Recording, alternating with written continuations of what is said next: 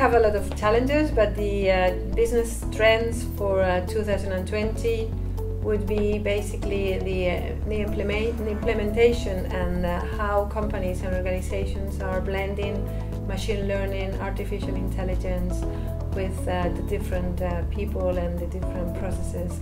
So we're going to see a lot of challenges in that area and the combination of artificial intelligence with human intelligence and the interaction.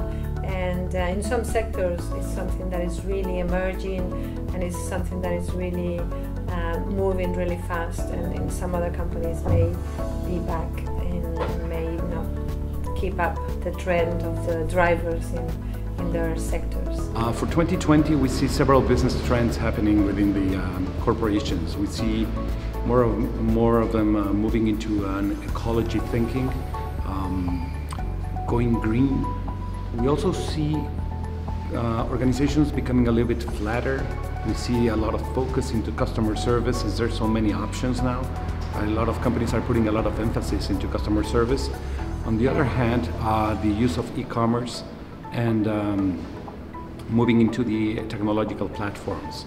Also, we see a lot of change management uh, mentality going in the, on in the companies, uh, as we have seen with uh, the send of, sending of a Twitter go up or down. So companies are starting to focus pretty much on how to have their people prepared into change mentality.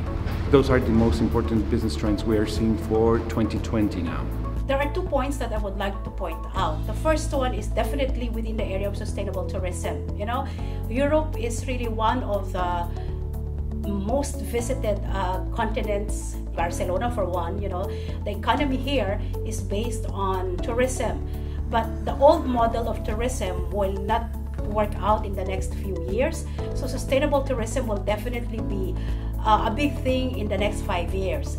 And then another one is in within the area of promoting personal health. You know, um, the idea of mental health, for example, is taking center stage in the discussion about uh, personal development and keeping up with stress and everything like that. So any business that deals with uh, the promotion of the self and uh, maintaining uh, a good balance between work and life that would deal with uh, the maintenance of uh, mental health that would definitely that would definitely be something big in the next few years how are we going to to adopt uh, the issue of mental health for example.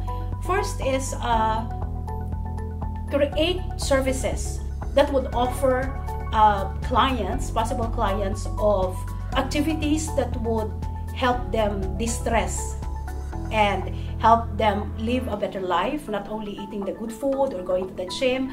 Create an environment where they can freely express themselves. They can talk about concerns and issues and dreams and everything like that. It would definitely unload so much of their personal issues and psychological issues that would help maintain mental health. So activities and business related to this will definitely a big thing, will definitely be a big thing in the next few years.